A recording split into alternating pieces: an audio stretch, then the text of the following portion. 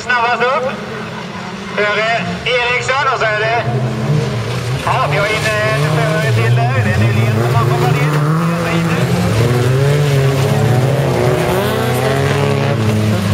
Det är Nyvall. Startar av. Leder. Hon hade nio poäng efter första, första omgångarna. Då rörde sig fint. Tvåa ligger Stefan Eriksson. Sen har vi Sen har Lundström på en tredje. Niva. Nylén på en fjärde. Tajpas med Bergqvist som är strax bakom där.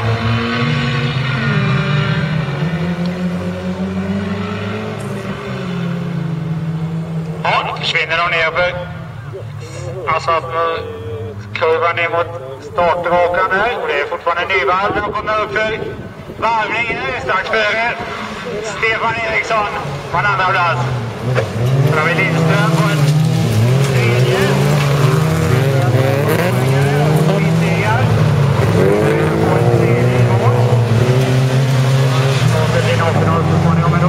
Då har vi Stefan som försöker ta sig om. Han lyckas med lite dra ur detta som Nyvall. Det verkar som Nyvall har lite bekymmer med bilen, för han tappar. Och så glider Stefan Eriksson ut. Då kan Nyvall kanske komma på innen. Nej, men då kommer Lindström där bakom också. Det är tajt, tajt, tajt mellan de tre där framme.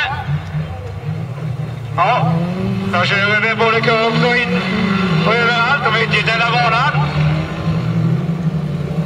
Ja, Stefan Eriksson drar ifrån.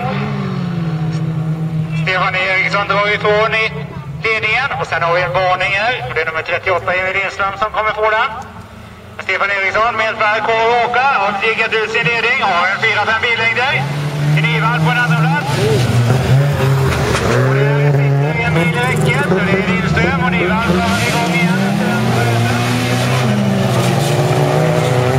Sen har vi Lidén uppe där också och jaktar.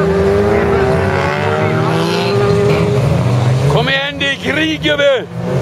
Nyvall trycker på foten här och börjar om igen. Då är Lindström på en andra plats, men han kommer från svart flagga.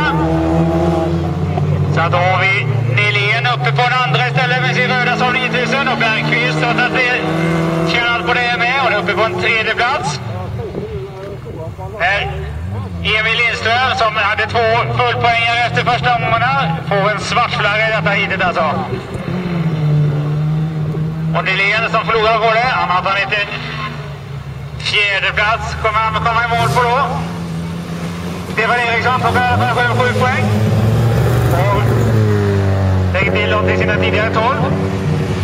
Sen har vi Nylén på en andra plats där då. Och Bergqvist på en tredje. Sen har vi Nyvall som kommer rulla in på en fjärde plats här.